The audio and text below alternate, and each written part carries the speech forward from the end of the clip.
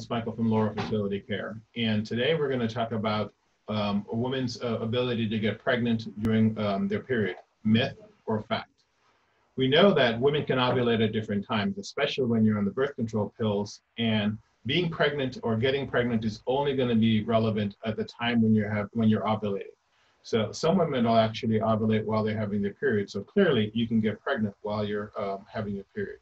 Chances of happening are lower, but still possible.